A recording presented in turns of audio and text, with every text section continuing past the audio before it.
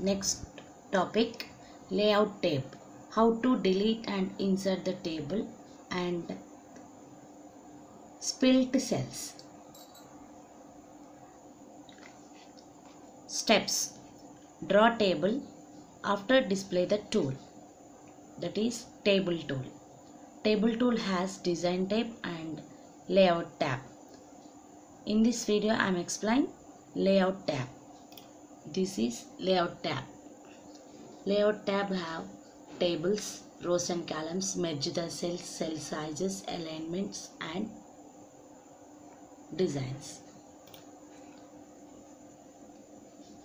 How to insert? Insert the button there, click here, click table.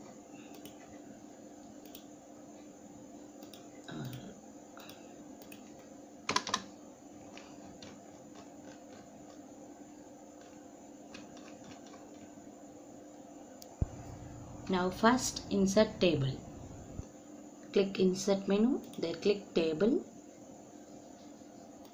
columns. This after type the information. After click the layout tab. tab.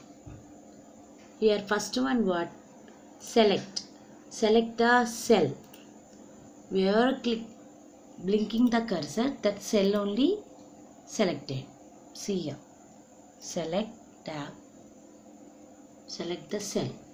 The selected one cell only. That's why. Select the column.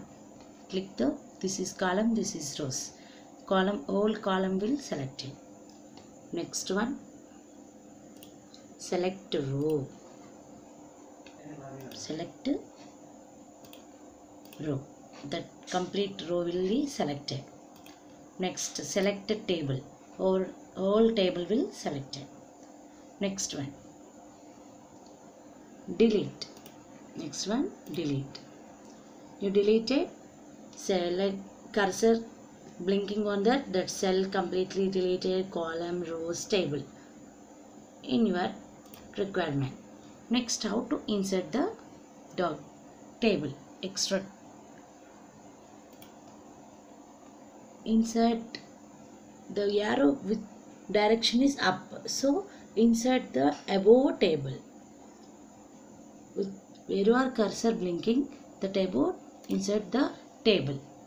Next. Where wherever insert the cursor that below insert the table. Where wherever cursor blinking that left side insert the row right side. Insert the row. Next one. Spilt cell. Cursor. Here cell is spilting. Clicking here and click the spilt. Only one. Click ok the cell is spilted spilt table. Spilt table. The table will spilt table will spilt next here cursor again I am given to the spill table. The table will be spilt it means spilting the table. Next one direction of the text. The text will directions. These are all text and already small small boxes here. See where which one I'm selected. The direction will modify the text. They are text directions. Yes yes these are called layout table. In table tool in MSI. Thank you.